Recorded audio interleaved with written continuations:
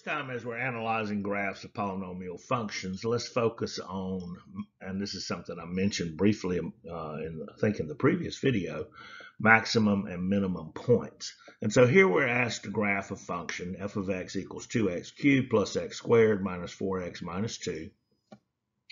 And then we're asked to estimate the x coordinates at which the relative maxima and relative minima occur. And before we go to the calculator uh, to do that, uh, let's again look at a couple of things here. One, our leading term is raised to the power of 3, which means that its end behavior is going to go in opposite directions. One's going to go towards negative infinity and the other one's going towards positive infinity. And the fact that this is a positive 2x cubed means that it's going to be left arm down, right arm up, uh, where the left end behavior is going towards negative infinity and the right end behavior is going towards positive infinity. Uh, also, uh, we could have as many as three possible zeros because we have x cubed and we're going to have two turning points. And it's at those turning points that we can have a maxima and a minima occur. Now, because these are, it's an odd, uh, raised to an odd power, um, it's not, they're not going to be absolute maxima or minima, but they will be relative.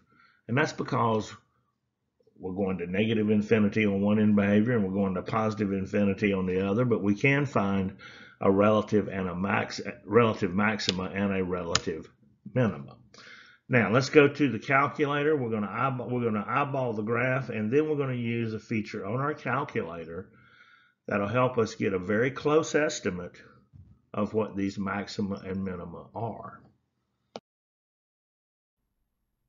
Well, here we are on the calculator, and as you can see up here in the y equal, I've already entered the function 2x cubed plus x squared minus 4x minus 2. So let's go take a look at the graph. And so here's our graph.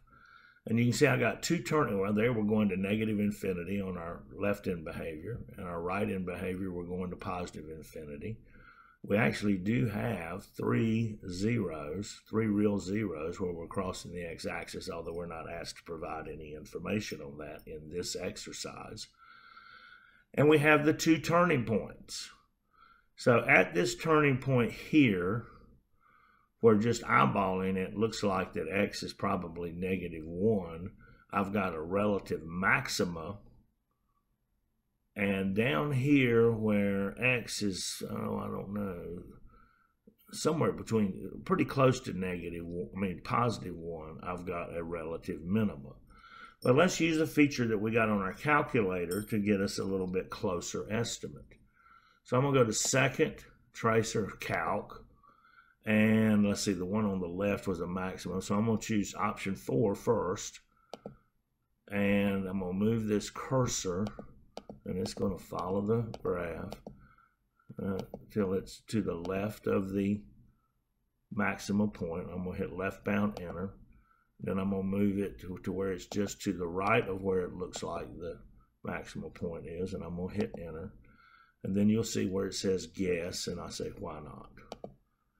So, and the, and the one we eyeballed this on this maxima, x is in fact equaling 1 where y is also equal to 1.